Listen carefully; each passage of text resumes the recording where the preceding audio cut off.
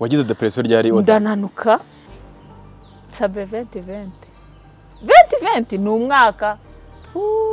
Ute muri ibi bihe byagenze gute? Wayi ngiye ngomba kwiyica. Noneho ugira gutya ukipositingira agafoto.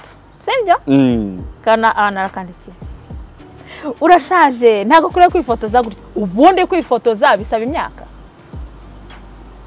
Bisaba imyaka ra bizi se. Ngwe ngo ngo yanga urashaje. Ngo ntabwo ukwiye kwambara gutyo. None se umwenda bajya kuyikora ba- banditseho imyaka ngo irabujijwe ku. Uri kubona? So like abantu bagushyiraho puresha ngo ntukwiye kwambara iki? Ngo imyaka ubundi imyaka yanjye ireba nde ubundi cyakoze bambwiye ko saba atanga abagabo. Ndavangaho mu ndangi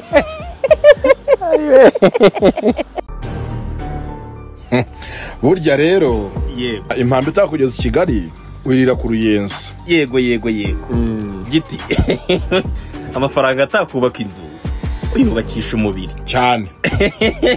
Ni ngombwa. Ni muri sitepu tawuni supamaketi ku ruyenzi. Siho bibera se.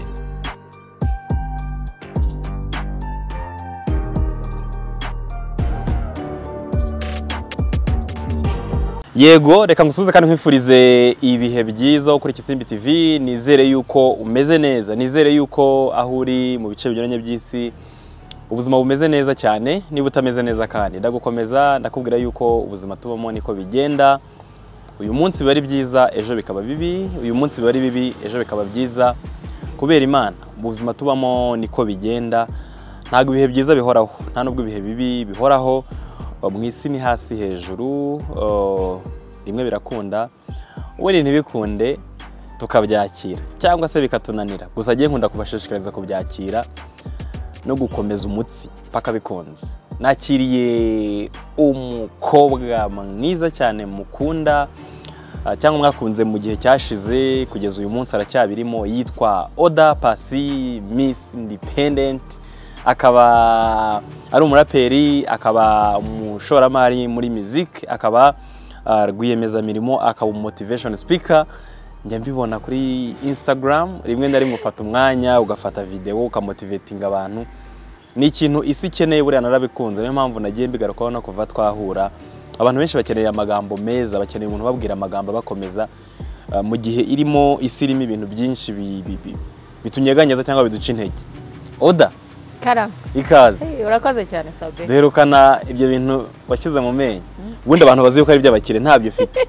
Ubwo narakize. Umuntu wabibonanye abantu bazi yuko ari iby'abakire. Ariko nanjye kera narabitinyaga Eh. eh naravuga nti mbega umuntu. Ariko ntabwo ari iby'abakire ah ni iby'abakire. Ubwabyo biranahenda yego ni uburwayi. birahenda. Em. Eh, Mm. biragenda?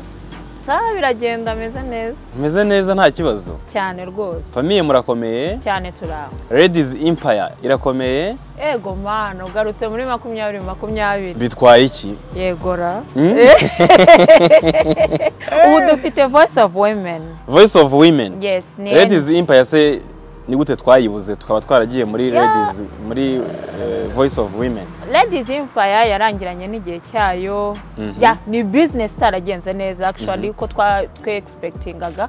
Ariko uyu munsi hari voice of women ni ngo Mhm. Ndi umwe mu bamambure ba- bayo. And then igira isapotinga abagore. Ya, mu bubakira ubushobozi ibakomeza ibagira inama ibintu Mm. nk'ibyo yes. Eh, ni ibintu nk'ibyo. Eh, reka mpere kuri empire. Ladies empire eh, yari nka studio ari na empire nyine izamura abahanzi. Eh, ariko iza iza iza kubura nyine ntitwayibona. Na pasi asa naho atabirimo cyane. Ngira ngo ni uko waswitchinze gatoya ujya mu byo gufasha abagore no kuba kubimpawaringa byagenze gute? Ladies empire byayigendekeye gute? Eh, ladies empire ifite amateka maremare. Ndakeka ari n'ubwa mbere. Actually wenda ndi buvugaho Mm. utuntu dukeya Mm. utundi nda nawe utwibikiye. nda- ndaba ntwibikiye. Ariko ladies empire like ifite amateka ma- menshi cyane. Abenshi bumvishe verisiyo zindi. Nta muntu wigeze wumva icyo pasi abivugaho ni iki ladies empire yari yari yari yari twifuzaga kubaka empire y'aba- y'abagore abakobwa mu muziki like, mu muziki Mm. yaba ari umwana uva hasi yaba ari ugera hejuru Mm. and then uh, sha binagenda neza tubona n'umu n'umuntu umutera nkunga reka mvuga gutyo Mm. ariko umuntu was not supposed kuba part of the company yari kuba ari umuterankunga uri aho ngaho Mm. and then rero hanyuma rero abantu baza kubyivangamo birangira isosi bayimenamo inshishi Eh, bayimenamo inshishi baratuvangira cyane Mm. eh, so rero iyo abantu bifuza byinshi birenze ibyo uri supposed yo kubaha and then turayireka gutyo yeah. Irahagarara. Ubwo ntiyaguciye intege nawe ubwawe mu muziki? Ntago yanciye intege kubera ko ah, ntago ntago ladies empire ntabwo ntabwo ari igitekerezo gitoya cyane. Mm. sibyo? Kubera ko tugira umuntu wese aba afite umutima wo wo wo wo wo gufasha. Hari inzozi uba ufite. Mm. iriya ni nka bizinesi abantu bose bakora bizinesi babyumva basha gu- guhura n'igihombo muri bizinesi runaka and then niba bizinesi itagenze neza ubaho ubundi buzima. Mm. Ntago ntago icyo ari ikintu gifite ikintu ki- Okay. gihungabanije ku buzima nta kibazo. Reka reka dukomeze urugendo uh, twumve cyangwa se turebe ibyagenze neza ibyagukomeje ibyagushyigikiye. Tuba ari byo tuganira. Tuba na byo dushyira imbere abantu bumve yuko bishoboka ko umuntu yava hasi akongera akazamuka. Hari igihe umuntu agwa akaguma hasi. Ariko burya hari igihe umuntu agwa akongera akabyuka agakomeza urugendo. Nibyo tujye kuganira. Oda pasi uyu munsi namutumiye mu buryo buri sipesiyare ntabwo namutumiye nk'umuraperikazi gusa namutumiye nk'umunyarwandakazi mutumira nka rwiyemezamirimo mutumira nk'umuntu umotivetinga abandi mutumira nk'umuntu ugerageza gusuraje abantu nyine mu gihe byanze. Hari amagambo uvuga meza agiye ubwanjye nkunda Ah, ku buryo natekereje ko umuntu akuganirije dushingiye n'ubundi ku mateka yawe ku buzima bwawe ku ntambara warwanye nk'umunyamuziki hano mu Rwanda w'umugore umwe mu ba mbere mu baraperikazi babikoze igihe kinini barahatana mu ntambara zitoroshye. N'uyu munsi ukaba ufite ubundi buzima urimo nasanze umuntu yakuganiriza hano ku isimbi. Ukagira abandi badamu cyangwa abandi bagore utera imbaraga. Pasi uyu munsi turi itariki ya mbere. Ni itariki abantu bafata nko kubeshya. Ngo ni itariki yo kubeshya. Hari n'igihe umuntu akora ikintu cyangwa wandika ikintu agahita avuga ati ah uratubeshya ibyo bintu ntabwo ari byo ariko ah, burya ukuri mu isi kuracyahari. Ntabwo buri kintu cyose tubona mu isi ari uko kiri nk'uko isi iri uyu munsi ahubwo harimo ibihagaze mu kuri iyi tariki yo kubeshya uyifata gute? Ni, ikintu ntekereza cyashyizweho n'abantu. Mm. ariko nyine kiri mu bintu byubahirizwa pe. Cyane. Kirubahwa ku buryo umuntu akubeshya. Mm. Yeah, arakubeshya koko pe cyakoza. Nk'uyu munsi wari kuza ugasanga nabwiye ni itariki yo kubeshya. Hari ukajya muri saro ugakora. Nagera hano ugatumbwira ati ariko ngewe ndi karongi bimeze bite? Waje ahubwo tuzajya dufitanye ikiganiro ntireka reka Oya, Eh. hari ikintu ki- wakora n'icyo utakora. Mm. Uh, but ni itariki nyine twizihiza twese. Yego. Ah, pasi ah, mu buzima bwawe wanyuze muri byinshi. Ubonye ibintu byinshi. Ibyagukomerekeje ibyakuzamuye ibyaguteye imbaraga ibyo wakomerekeje ah, byinshi. Ah, ubuzima bwa pasi wabubwira gute umuntu utarabubayemo? Igihe hari bike nzi ariko hari n'abatabizi.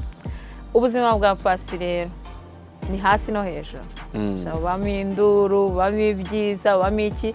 Ariko ibyinshi. Sabye buriya umuntu aba yaragiye akomereka mu buzima reka wenda ntituvuge ubuta- ubutarabaye exposed Mm. tuvuge kuri bwa bundi nyine bwagiye hanze Mm. reka mvuge nk'utuntu tune yego uzi kuba ni urugero wenda kimwe mu bintu biba byaragiye bimbaho n'ubundi n'abantu bazi uratwite Mm. mu gitondo bagutumiye mu kiganiro ndabyibuka hari radiyo imwe utwo ni utuntu twagiye tumbabaza mu buzima bwanjye Mm. Ha- habagutumiye kuri radiyo ndabyibuka bantumiye kuri radiyo. Ntavuze izina. Nanjye ntabwo nyivuga Eh, nyagasani. Mfashe nyagasani insindira kamere. Nyagasani insindira kamere. And then nsanga batumiyeho na lick Mm. mu gitondo mu kiganiro. N'umunyamakuru ndabyibuka n'ibyo bazaga. Eh, abaza ariko ngo ko bivugwa ko pasi atwite? Kandi utwite. Kandi mwese ati reka reka nawe Eh, nawe oya nawe si icyo nkora Eh.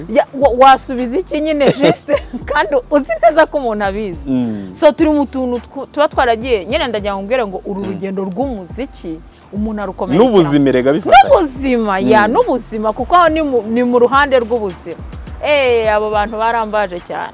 Ahubwo kuba bataranansabye imbabazi ni ikibazo gikomeye.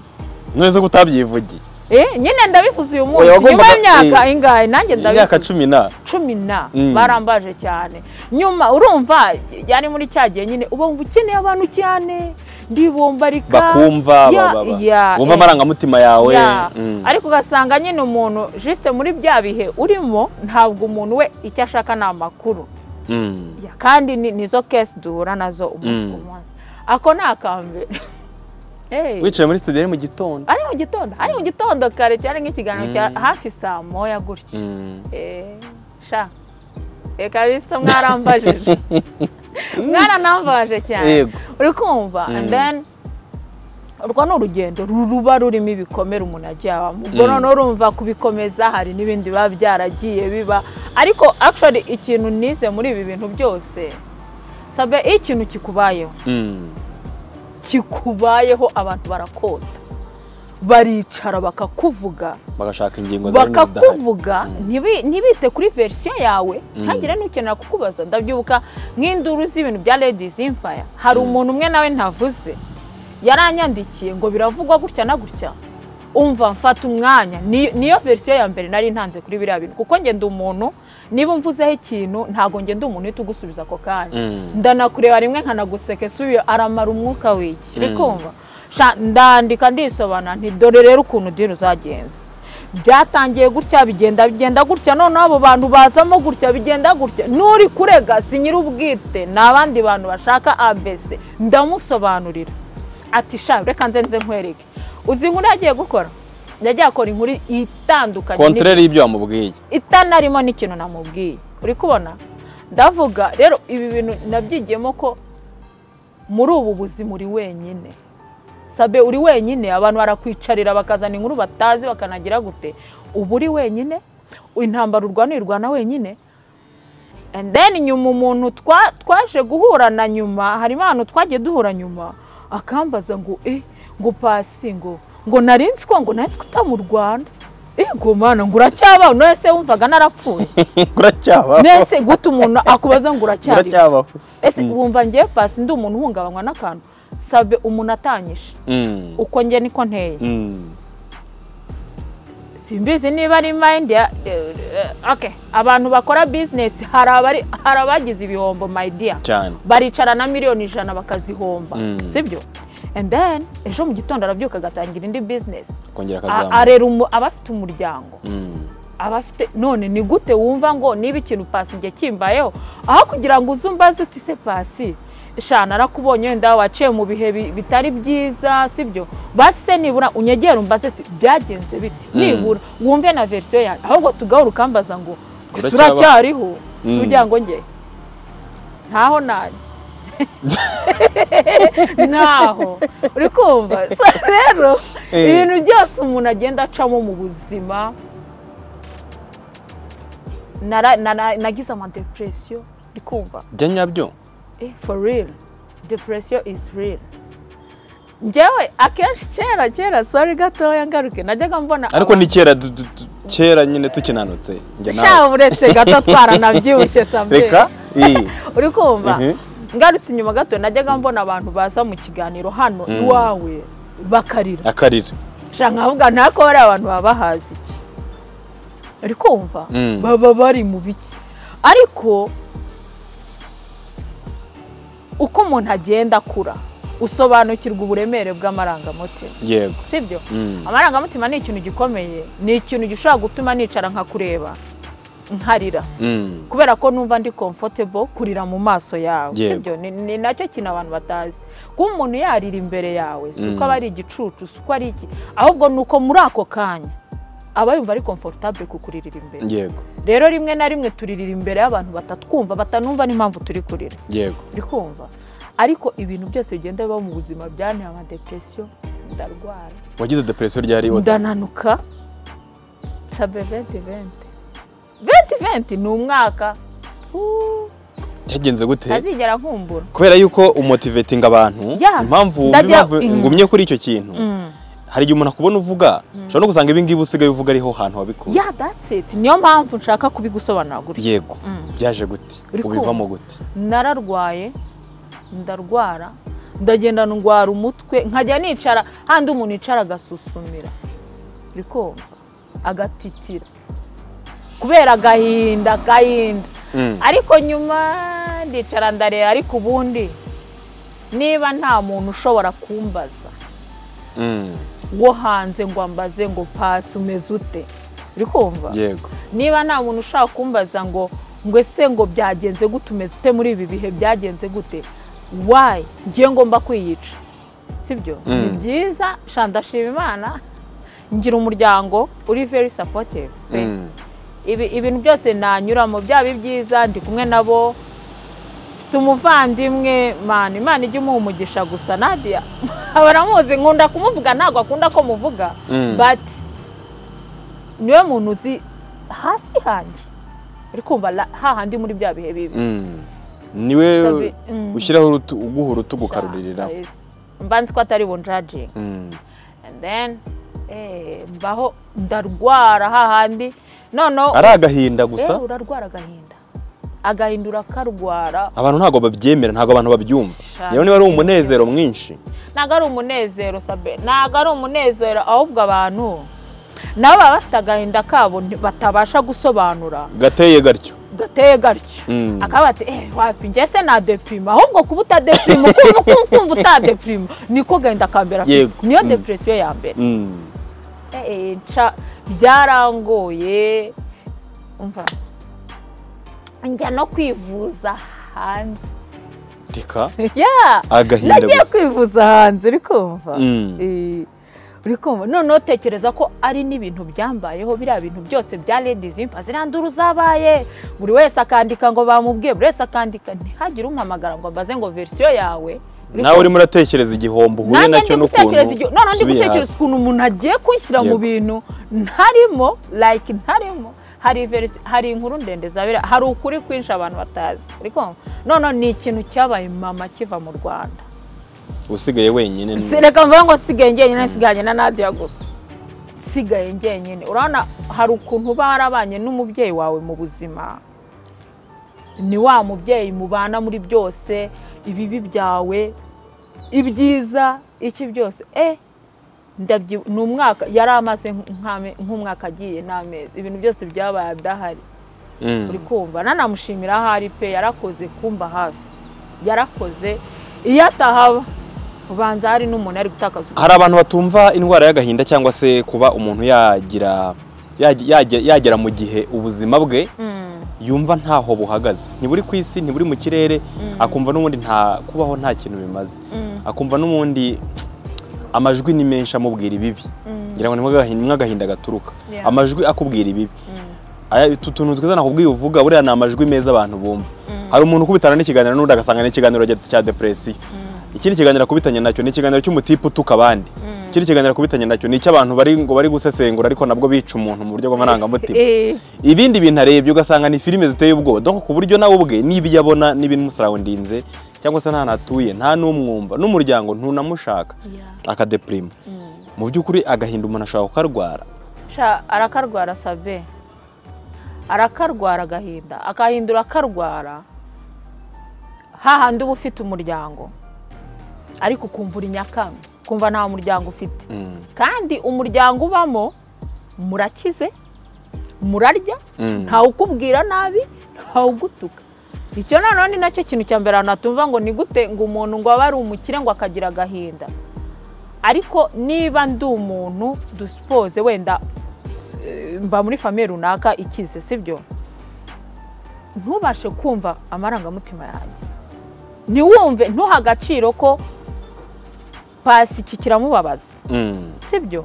Iki kiramubabaza wowe ukajya ese ubundi buriya ababazwa n'ibiki? Se buriya ni ikintu cyo kubabaza umuntu? Like tukaba tutari abantu dushobora gukominika tukaba tutari abantu bumva umuntu sinzi ikintu cyo kumva umuntu. Ni ikintu kiremereye Mm. kinagoye no gusobanurira umuntu. Ariko iyo umuntu atakumva niko gahinda ka mbere. Yego. Sibyo? Abantu rero ntago babizi barwaye agahinda ahubwo barashize iyo wumva umuntu hari umuntu wambwiye ngo rero ngo ntureba ngo ibyo bintu ngo rero uganira ngo by'amadepresiyo n'ibiki Mm. ngo uzicwa na depresiyo kumva? Yego. Kubera yuko ubiganiraho cyangwa ubivuga. Ya ariko impamvu ni uko ndandasitendinga Mm. ngewe niyo uje ukarira imbere yanjye. Ntabwo ndi umuntu wo kukujajinga ngo warize. Sibyo abandi bahita bavuga ngo "To, ese nka buriya ararizwa iki?" ni? Eh. buriya arahazi Mm. uri kumva? Kandi noneho wenda ba bantu babikubwira ni abantu bakuri babandi n'ubundi bagakwiriye kuba baguporotekitinga baguhoza. Baguhoza Mm. sibyo so agahinda na- ni akantu umuntu arakarwara kakagushegesha. Ibi twirirwa tuvuga ngo ngo ngewe se ngewe nta depresiyo ngo nge nabiki sha ceceka. Nturabona ntarabona. Pasi wo mu myaka icumi cumi n'ibiri w'umwangavu. Eh, watekerezaga ko rimwe uzaba umuraperi ukanyunyura muri za ntambara zose tuzi cyangwa tutazi wigeze ubitekereza? Oh, okay nari nzi ko nzaba umuhanzi. Icyo cyo ni ikintu nari nzi. Mm. kuko nakuze nkunda ibintu byo kuririmba nakuriye mu muryango bakunda ibintu by'umuziki. Ndibuka ko nakuze twumva Bob Marley cyane nari mfite basaza banjye. Mm. babaga ariko twumvaga indirimbo za Bob Marley mu rugo. Mama nawe ni umuntu wari ufite impano muri akiga yajyaga akora ibintu nk'ibyo byo byo gukina amateatre so Mm. nakuze nkunda ibyo bintu mu by'ukuri. Numvaga nzaririmba ariko ntazaba umuraperi kuko n'indirimbo nandikaga mbere zari indirimbo zo kuririmba bisanzwe. Mm. nta ndirimbo za hip hop zari zirimo. Ntazari ziri U- nyine watekerezaga yuko yego Uzaba umuhanzi? Eh. ariko uzaca no muri za ntambara kuko hari abandi bakobwa cyangwa abadamu bakoze umuziki hano mu rwanda. Mu gihe cyawe cyangwa se nyuma na mbere batawe buri muntu agira intambara ze sha cyane. Batahuye n'intambara za pasi. Kuko nkawe wanatwise wasamye ukiri muto. Ari nabwo bigitangira nabwo Eh, uryoshye ari nabwo amafaranga utangiye kuba watekereza ko bishobora kubyara amafaranga. Eh, Ah, noneho uri umuraperi Eh, kandi noneho rapu hari ukuntu yafatwaga kiriya gihe Eh, eh. Ngira ngo was- baba- ni nkaho wakoze konfirimasiyo cyangwa kwemeza ibyo abantu bavugaga kuri hip hop uri kubona izo ntambara wigeze uziteganya mu buzima bwawe? Kuko n'iziri imbere ntazo tuzi njye nawe. nta muntu uteganya ibibi. Urumva naje mu muziki ntekereza like ngiye kubaka undi muntu. Nari mfite inzozi. Nari mfite inzozi. Ntabwo inzozi nari mfite zari ukugira ngo ngo mpite ntwita. Si cyo kintu nashakaga sibyo? Then biraba. Bigenda kuriya nkonfirima cya kintu n'ubundi kivuga ngo abakobwa bakora hip hop ntago bashobotse. Ni ibirara. ni ibirara Mm. uri, kubona? Cyakoze wenda abantu barangarukiye rimwe na rimwe. Abantu banzi. Ntago nabyita ko wenda byabaye atari kwa kundi uba usanzwe uzi umukobwa. Eh uriya yari hari ukuntu umukobwa twita ugasanga narangira ah ngo uriya yari yaratinze gutwita ya. So hanyuma ariko nyine ntibiraba bigenda kuriya ntabwo ari zo ntambara nifuzaga. Si na byo bintu natekerezaga gucamo Mm. sibyo? Wenda mba mba n'umuntu utaratekereje nabonye choice nyinshi. Reba ni bwo ugitangira umuziki utangiye gukora amafaranga icyo gihe nari mfite n'ibiraka bishyushye. Mm. kumva ibi bintu nuramuka utwite ba- ba- barahita bagucaho. Nabonye option nyinshi kuramo inda kuramo inda. Mm. Ngewe ku myaka mike nari mfite. Then ndavuga no akenshi ese aba ari we wenyine ra? Dore ko nta n'undi urabyara. Ni nk'ibyo byose dore nta n'ubundi urumva aba ari we Eh, wenyine. eh. so mfata umwanzuro wo gukipinga my baby. Ndavuga no kereka mukipinge ubwo nyine n'ubundi nzakomeza urugendo rwanjye rw'ubuzima. Mm. bimwe ntibyagenda neza ibindi birakomeza umwana arakura arakura mbifashijwemo na famiye Mm. n'inshuti so bigera hano. Ntabwo ari bwo buri wese agira intambara ze ni bwo Mm. ngewe intambara zanjye ariko gusa izanjye zo ntekereza ko zitandukanye n'iz'abandi. Njye numva izanjye zarabaye nini cyane. Zabaye nini kubera yuko wari umuraperi noneho unatangira gufata inshingano zo kurera. No gutanga ubuzima na byo ni imbaraga zindi n'ubushobozi mu marangamutima. Urumva byanatangiye mu marangamutima udahagaze neza. Buriya ni naho hantu hagoye cyane nkunda ku- iyo nganiriza umuntu njya. Nkunda kujya mu marangamutima. Mu bihe byawe tutazi byawe na pasi Uh, ni hehe wagowe cyane icyo gihe? Reka rero buriya hari ikintu gisekeje. Buriya ukuntu ngewe ndi umuntu niba umbwiye hoya. Sabe ukayimbwira rimwe ukayimbwira kabiri ukayimbwira gatatu. Ngira ndakaraba nkakaraba nkiyunyuguza n'abo muziranye nkakaraba n'inshuti zawe bose bose sibyo? Mm. mu gutwita kwanjye icyangoye ntabwo icyangoye nagowe no kwakira ijambo rya mbere rivuga oh no. Buretse buretse buretse." Mm.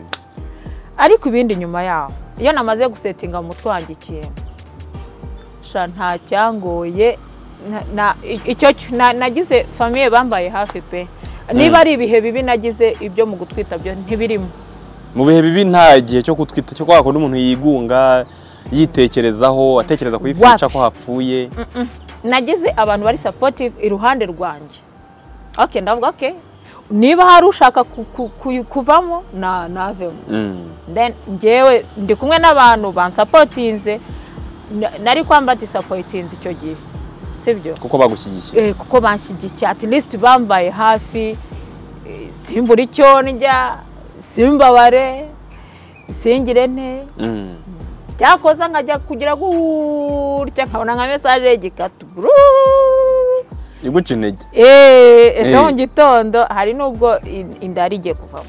Ndabyibuka banjyana kwa muganga inda igiye kuvamo. Kubera puresha furesha za nyir'ubwite. Mm. uri kumva? Za nyir'ubwite. Mm. kubera puresha za nyir'ubwite. Puresha z'abantu njye buriya abantu nize ko nta muntu n'umwe njye ushobora kuntera puresha niba nambaye ikanzu ntuyikunde it's up to you. Genda urire wicwe n'agahinda wenyine. Pfa kuba bimpa amahoro kubera ko nasanze. Mm. kuko nasanze n'agahinda kanjye nkabamo njyenyine Mm. rero ntago waza ngo mu gahinda kanjye mbe narabayeho njyenyine ninkenera kwambara ikintu. Ninkenera kuba ubuzima. Uze umbwire ngo baho gutya. Baho gutya. Kubera iki? Narakubonye. Ntabwo hahandi abandi batari uri wenyine se hari umuntu wagera wamugane? Eh? Hahandi abandi batari. Eh. igihe uri wenyine ufite agahinda cyangwa mu byishimo. Mfite famiye ba- mfite mama mfite umuvandimwe nadia. Abo bantu babiri nibo bantu baba bari hafi cyane. Mm. ya Ah, pasi tukuzi nk'umudamu wihirinze mu gushakisha amafaranga. Mu buryo bugaragara n'ubutagaragara. Kuko ah, hano muri kigali kuba umuntu yabasha kubaho imyaka ingana gutya urera ufite n'izindi nshingano zo kugira ngo mubeho mu rugo ukore umuziki ugire ama inisiyative nk'aya twagiye tubona ntabwo ari ibintu buri muntu akora cyangwa se mu buryo bumworoheye. Ah, inzira zo gushakisha amafaranga za pasi tutamenye cyangwa tutabonye. Ni izihe? Wabigenje. Ute? za haso zawe Mm? sabe Mm. wenda reka tuvuge ngo ntawikora mu nda. Sibyo ariko ahantu hose hava amafaranga as long as utari bwica umuntu kuko ni cyo kintu kibi kwica kuroga urayashaka Mm. Eh, mu buryo bwiza ndi Yego, kuvuga yego. yes urayashaka amafaranga kuko dukeneye kubaho Mm. kandi wenda du- abantu tuba duteye bitandukanye. Njye birangora pe birangora guhamagara umuntu ngo wambare ukampa igihumbi. Abantu ba- banzi barabizi.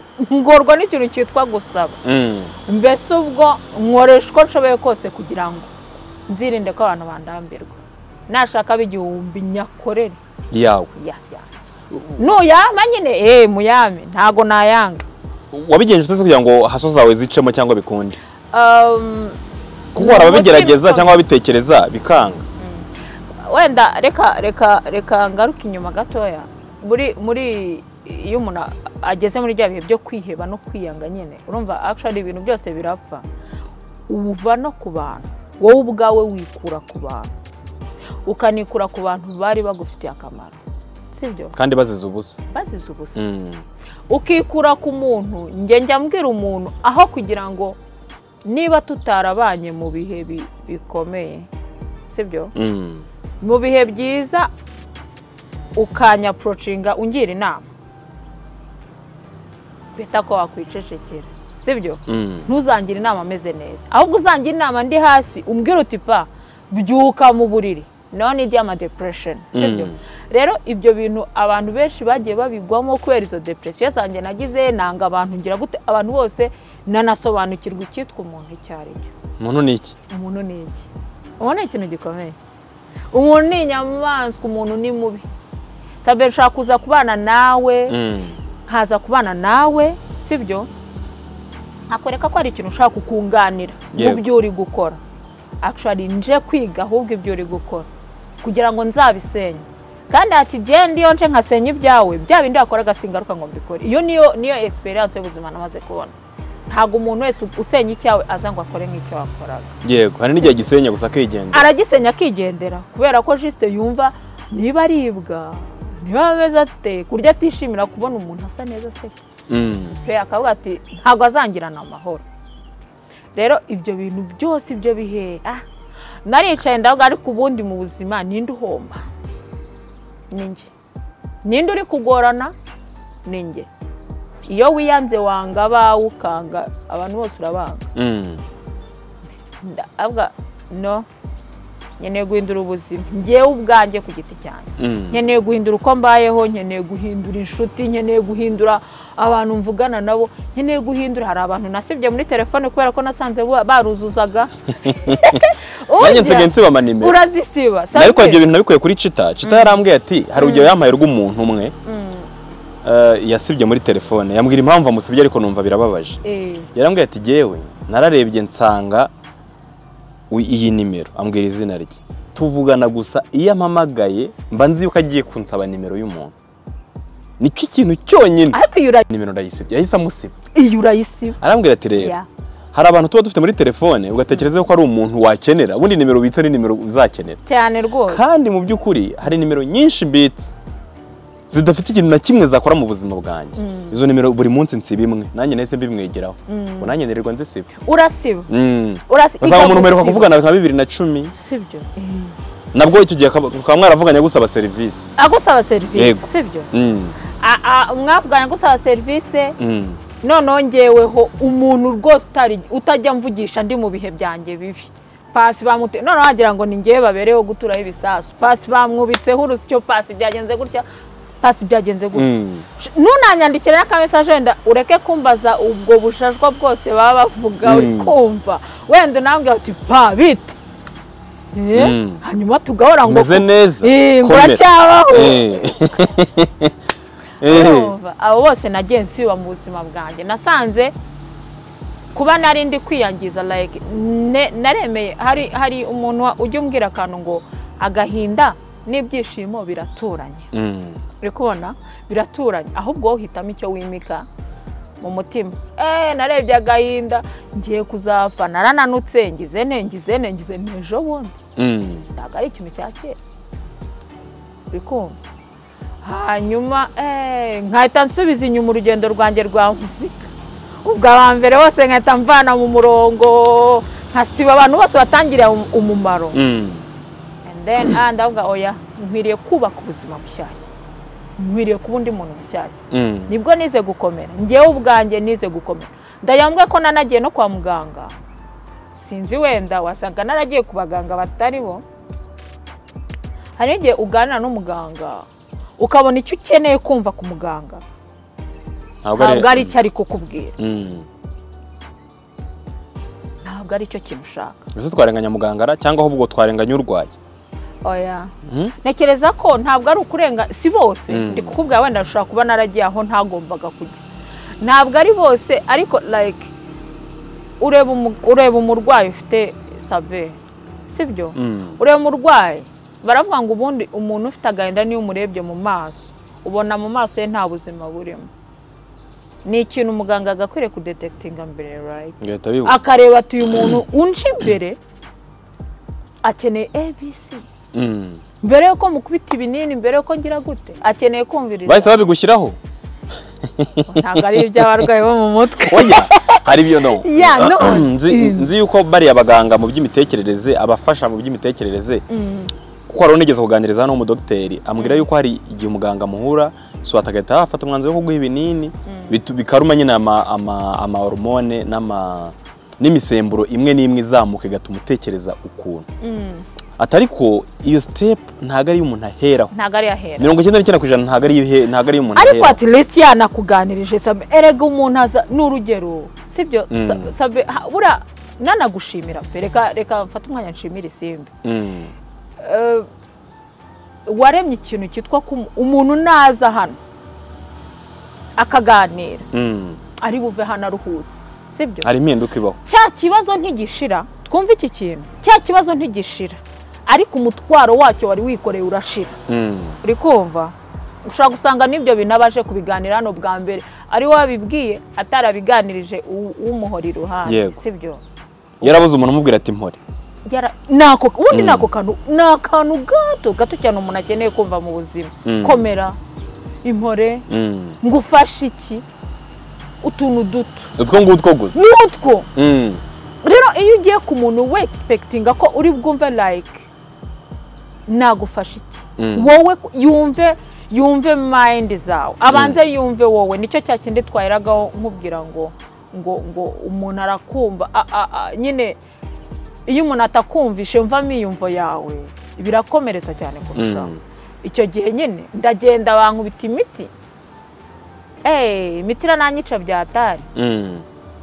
imwe ndanayihagarika ndavuga no. Nanagiye no kwivuza hanze. Ikintu abantu batazi. Binaniranye binaniranye. numva ngiye kuzapfa. Handi wicara ukumva umutima uri gukamuka. Wumva. Uri kumva si ko ugeze habi mwe hano shana uko abantu batavuga hanyuma rero ubwo ukaba waranyuze muri ibyo bintu wahora n'umuntu ngo uracyariho ndiho. Nararokotse. Narokotse agahinda naragakize uri kubona ntabwo abantu bakunda kubibaza Eh, eh, ntukabaze ikintu uwo muntu wenda ntabwo Mm. uzi aho avuye wenda yaraye nijoro urupfu rumugera intoki eh. Mm. urumva rero ibyo bintu byose ni byo byatumye nicara ndavuga no. Ngomba gusavayivinga ngomba Mm. guhindura ubuzima. Ubuzima burahinduka ni bwo nahise mfata umwanzuro wo kuza nsubira mu ishuri. Mm. uri kubona. Wese usubira mu ishuri? Eh, kugira ngo wigeze gusubikaho kera Eh, Eh, wigeze namaze imyaka gucumbika cumi n'itatu hari icumi ntiga. Ndi mu bantu barangije ntinze urumva Eh. naragiye nyine ndasuspanda njya muri ibintu byose so rero icyo gihe Mm. icyo gihe cyo kibi nari ndimo cyatumye nitekerezaho Mm. ni bwo nahise nzafata umwanya ngaruka mu ishuri Mm. ndiga ndarangiza ndarangiza n'ubu ndakomeza ndakiga. Sibyo Mm. niga ko ngomba gufata ibintu byanjye nkabishyira ku murongo ngewe nshaka. Mm. apana puresha y'umuntu n'umwe Mm. kubera ko n'ubundi uwo muntu puresha azanshyiraho n'ibyangirika ntabwo azaba ahari. Sibyo inama ziri ngombwa ndazumva izitari ngombwa. Ku ruhande. Ku ruhande. Pasi umuntu yikunda ati kuko wagiye uca mu bi- mu bi- mu bihe bitandukanye mu buzima bwawe yaba n'iby'umuziki cyangwa ubuzima bwo hanze nk'uko ubivuga ibyo bya de- bya depresiyo cyangwa agahinda n'iki ariko ukongera uka- uka- ukabyuka. Ntugwe gusa ngo ugume hasi ahubwo ukongera ukabyuka. Muri kwa kubyuka ni bwo umuntu yikunda. Kuko ubyuka kubera ko hari impamvu yo kubaho. Ntabwo upfa kubyuka gusa. Burya nimubona hari abantu batakijya mu kazi cyangwa bakennye cyangwa birirwa postinga ibintu ubona biri bi- bi- biri wiyadi ntukamuseke. Buriya haba hari ntabwo aba abona impamvu yo kwandika ibintu ni byiza. Nyine ni byo biharimo. Ariko burya biba byiza umubaje umeze neza? Bimeze bite? Nibura kugira ngo wumve ikimuvamo. Wowe u- watubwira ko umuntu abigenza gute kugira ngo yikunde iyo umuntu ageze hahandi yumva atakiyumva cyangwa se atakibona impamvu zo kubaho. Bisaba umutima ukomeye. Bisaba kuba ufite abantu iruhande kwikunda. Nkunze kubwira abantu ni ikintu kigoye hari n'umuntu wumva bidashoboka. Abantu bariyanze pe. Abantu bariyanze abantu bafite agahinda abantu bariyanze sinzi ikibazo bafite mbona ntazi ukuntu byagenze. Mm. ariko kwikunda bisaba kwiha umwanya umwanya witekerezeho nibura ati lisite twese tugira inzozi. Nta muntu n'umwe udafite inzozi aho waba uri hose uba ufite inzozi sibyo? Mm. niba ngewe pasi narebye naricaye ndareba se pasi ni ubuhe buzima first of all nifuzaga Mm. nari nzi ko nzahura na rikirika akantera inda bikagenda kuriya nyine akabihakana akagera gute Mm. si cyo kintu nateganyaga Mm. nari nzi ko ladies empire nzaza umuntu akicara ashinga ibintu abantu baze kubyi- kubigwamo Mm. batanazi niyo byaturutse batanazi n'iki Mm. nari nzi ko hari umuntu uzasenya ibyanjye Mm. ese nari nzi ko kanaka azabyuka mu gitondo akanyitendekaho Ah, ndavuga ni oya hari inzozi nari mfite kandi bajya bavuga buriya tujye twizerera mu mana yego imana abantu dukunda gusenga Mm. ya dukunze kubwirwa ko nta munsi niba hari inzozi wari ufite niba hari isezerano imana yaguhaye ntabwo ushobora kuva kuri iyi si. Icyo kintu kitabaye. Nushaka uzibemo uyu munsi upfe ejo. Ariko ntabwo uzapfa intuza promese zawe zita- zitabaye. Mm. ah ndaranda ndavuga ni no ntabwo ari iki ngewe nashakaga. Si zo nzozi si bwo Mm. buzima nifuzaga. Nifuzaga kuba ndi umukobwa uhagaze. Of course ngomba kugira agahinda ngomba kubabara. Nifuzaga kugera kuri ibi nifuzaga ko imyaka nzaba bimeze gutya nifuzaga ko. Nzaba ndi umuntu ubasha gufasha abandi bantu. Yego. Sibyo? Mm. niyo ntanabafasha mu buryo wenda mbamo amafaranga ariko ndi umuntu ushobora guhakaza umuntu. Yego. Sibyo? Mm. hari inzozi nyinshi tuba dufite. Ah ndareba nsanga ntabwo ubwo buzima. Aribwo nifuzaga ubwo nari ndimo. Mm. nyuma yo gufata umwanya wo kwitekereza.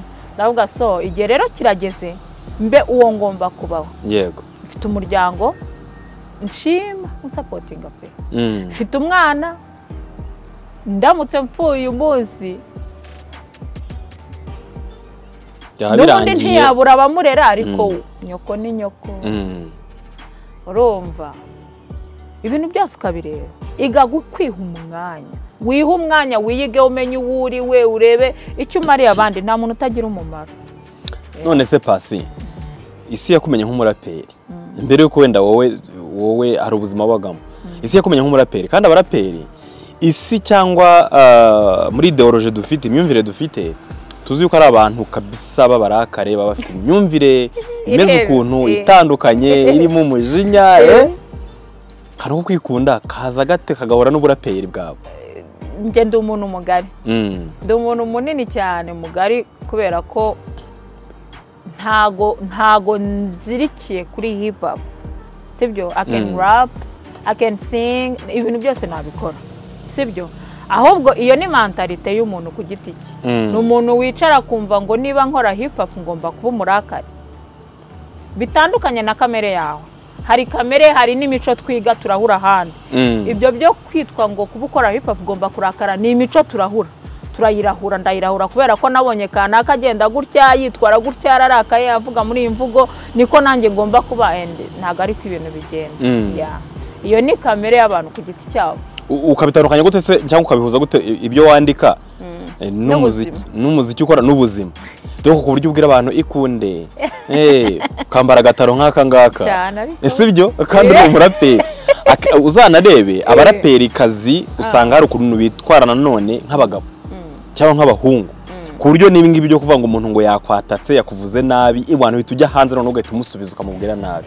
Uzi kandi wowe ntabwo ariko uteye njye ntabwo ariko wowe bitandukanye gute? Njye siko nteye kubera ko njyewe numvuga.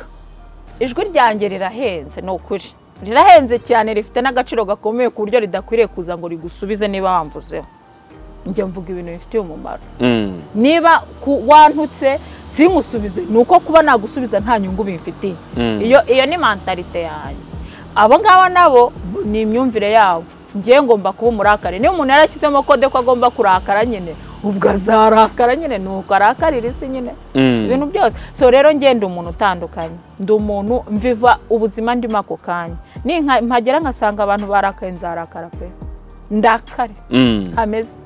Nisanga abantu baseka ubwo niyo mudu uzasekana nabo. Nzasekana nabo. Ubwo uba wowe ryari? Mba njyewe iyo nicaye mu cyumba ndi imbere ya miruwari ni bwo ndeba nkavuga nti eh uyu ndi kureba hano ni pasi. Ni pasi ufite ibi byishimo ufite iki gikomere ni pasi umeze gutya. Ni gute ejo ngomba kwavanza naho iyo uri mu bandi nta na rimwe uba wowe. Sinjya mbajya yampaye. Ko numva ibyo bintu biteye ubwoba. Eh ntago na uzi impamvu utaba wowe se Eh. Abantu abantu bose baba bagukikije Mm. bahora bameze ngo sibyo Mm. abantu ntago banyurwa nimba nge nzabangamira uwo wa- wexpectingaga ko mbawe Mhm. isi itwoburija ko ni byo ndakubwira ngo iyo uhuye n'umuntu bwa mbere ukuntu akubonye shani ko ahita agufata Mm. niba mujyanyeho ikinyabupfura gike azagenda avuga ati eh uriya muntu agira no ikinyabupfura gike." kubihindura biragora no kubihindura icyo kintu rero ni byiza kuba umuntu icyo ashaka kubona niba ashaka kubona ko witonze genda witonze ni ukuri Mm. nushaka nugera mu rugo bya bisazi byose uvaneyo. Wiruke ereka abantu icyo bashaka kureba. Ntubereke uwo uri we. Reka? Eh, none se ubwo tuzamenya pasi wa nyawe ryari kuko mu cyumba cyawe nta muntu uhagera ngo arebe muri wawe. uhagera. wireba cyangwa wibwira. Eh, eh. ubwo tuzamenya uwa nyawe ryari? Uzi se sabe Mm. njye wenda ni urugero ndi umuntu iyo nkwanze. Mm, ushaka kukwanga dufite icyo twapfuye sibyo? Mm, ni na defo. Ba- bajya ngo ni defo. Niba ungiriye nabi mm. ndakwanga sibyo? N'umuntu ukuri iruhande mwanga. Uzi impamvu mwanga? Udo kugira mu nyange Eh. uzi impamvu mwanga? Ni uko uwo muntu yarabibonye bya bintu ubikora. Yari ahari ubikora. Nibura ntigeze anakubwira ati nyamara pasi ugiye kumugirira Mm. nabi. Sibyo? Mm, abo bantu ibyo bintu wabikoze uri kumwe n'inshuti zawe. Izo nshuti zawe rero ntabwo ari inshuti zanjye. Rero niyo mpamvu ngerageza guhisha utwo tuntu twose nkaba ngewe nageze ku ruhande. Ahubwo niba ushaka ko nzi imbere yawe seka ndaza ngo usekere ni ukuri ni ukuvuga ngo pasi ashobora kuba aseka igihe atanasetse oya mbasetse pe. Mm. Eh, mbasetse ariko nyine umuntu wese yisanzura aba uwo ari we iyo ari muri ya ya comfort zone. Mm. Hahantu ari comfort ha zone. hantu he, nawe. Mm, he nawe. Mu- mu isi tubamo. Ni nk'iyihe ndirimbo pasi yatubwira ko ivuga ubuzima bwe? Imbere muri njye. Ya. Imbere muri njye imbere muri njye ni indirimbo ivuga ubuzima bwanjye Mhm. naraya- nayanditse nshingiye ku bihe nari ndimo kunyuramo muri ibyo bihe urumva Mm. kuko hari ahantu mvuga ngo imbere muri njye huzuye ka gahinda huzuye intimba ibikomere ibi- ntabwo nyibuka neza Mm. amagambo like hari ubwo njya ncika intege sibyo Mm. twese bitubaho njya ncika intege nkumva umutima uri kubabara. Ugasanga nta muntu n'umwe ufite kuri iyi si ni urugero. Mm. like so yavugaga ku buzima bwanjye. Abantu yavugaga pasi wa nyawe Ivuga pasi wa nyawe n'umuntu ntabwo wenda nibuka amagambo yangira ikibazo cyo kwibagirwa. Mm. but um, umuntu ya- ya- ya- ya- yajya kwimva kuri youtube channel yanjye iriho. Oda Mm. pasi akandikamo imbere muri njye indirimbo arayibona.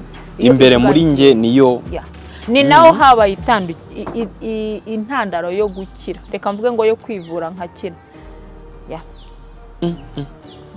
Imbere ha muntu se ko hadasanzwe? Imbere aho umuntu harimo byinshi kuko umuntu harimo babiri hari uwo twebwe tuba tubona inyuma hari na wa wundi nk'ubu ngewe turi kuganira. Hari uri gutekereza ibindi bintu kandi ari hano. Cyane rwose. Eh, waje gusanga umuntu tutabona ari iki? Umuntu tutabona. Ni, naho byahereye imbere muri twebwe ni, hanini cyane. Actually ni hato ariko dushyiramo ibintu byinshi cyane. Ku buryo ari na byo bibazo byinshi abantu dufite. Ari n'amadepresiyo menshi ari naho hahandi ujya kubona ukabona umuntu yahinduye imico kubera ibintu yifitiye muri we by'imbere Mutazi. abantu batazi adashaka kubwira umuntu bari kumwe. Hari n'ikintu abantu bumva ko kuba ntakubwira ko ibibazo mfite atari uko ntakwizera. Si uko ntakwizera ahubwo ni uko nta- ntago ndi comfortable. Yo kukubwira icyo kintu kubera ko ninyikubwira se urabikoresha iki? Mm. wenda nturi bunyu- bunyumve burya sabe niba nshaka kuza nkakubwira ni urugero wenda. Akantu gato koroshye. Ngo sha reka mfatire urugero rwa hafi. Sha sabe uzi ko ndwaye? Yego. Ubundi wansubiza ngo iki? Impita nkubwira eee shapore kabisa byagenze gute? Ah. hari igihe bigenda gutya. Eh, hari igihe Eh. ubundi umuntu agusubiza pole Eh, kabisa eh, none se mm, wafashwe. Eh, Eh. Eh, uri kumva wenda ni urugero hari n'igihe uri mu bintu byinshi ugahita umubwira uti ihangane ihangana ugahita umubaza none se wampaye nimero ya runaka. nawe ati ewana umutwe umereye nabi kabisa. Eh. wabyutse undya ewana mfite n'agasereri. Nkabwira ewana ihangane Sha, kabisa. Eh, umva nyoherereza nimero ye. Nimero eh, uri kumva? Ubira ubitambutseho. Eh, kandi wasigaranye na byo iyi kandi wasigaranye na byo urumva niba mbikubwiye gutyo wenda uka- ukansubiza gutyo cyangwa ubibwiye umuntu akagusubiza gutyo cyangwa se wenda n'agahita akubwira ati ah wenda nanjye ndarwaye. Sibyo Mm.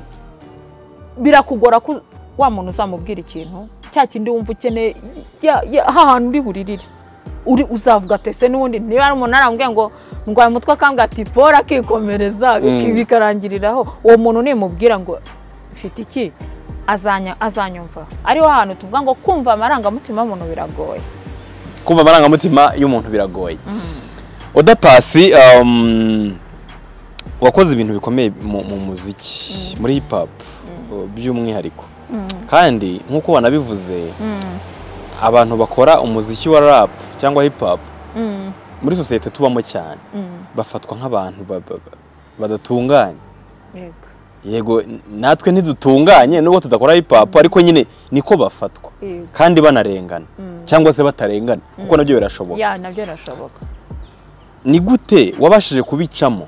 Uyu munsi ukaba umaze imyaka ngira ngo cumi na ukora ukora umuziki utaranabivuyemo urumva wanagize n'ikibazo cy'agahinda ubigumamo urakomeza urapushinga. Ladies impa igira ibibazo urakomeza. Ni gute wabashije kubicamo? Uri umukobwa.